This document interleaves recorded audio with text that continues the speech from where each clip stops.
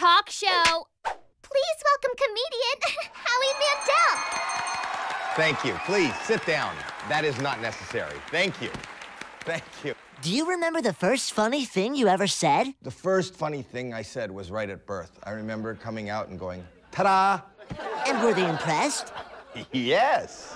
You guys ever go see a bad magic show and then they go, ta-da, and then it makes, and then the audience goes like that because they went, why would he say ta-da if it was a bad thing? That's why no matter what I do, if I go ta-da, people think I did something. You could use it after anything.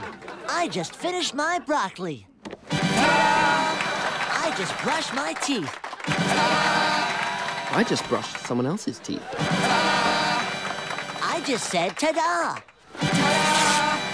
Ooh, Do you have any special talents that nobody knows about? I do batons. I do a special baton. Does anybody have a baton? Yeah, we have one right here. Isabella? Whoops, sorry, Fluffy. Try this one. Thank you, Isabella. Ta-da! I could take a baton and I hold it. No spinning, no throwing, just I could hold it.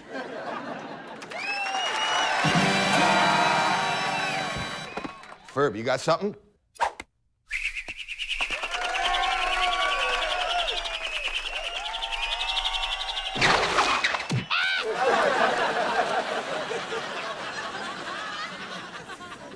Oh, he'll be fine.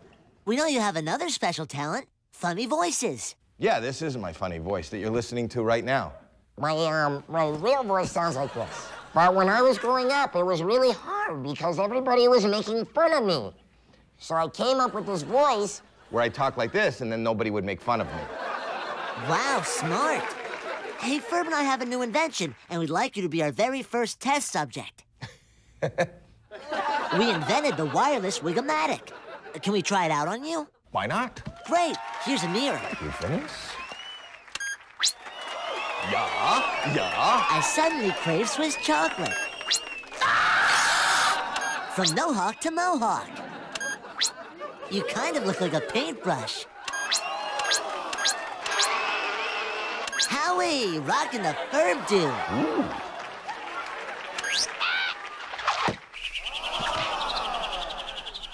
But Ferb, just try, just try holding it.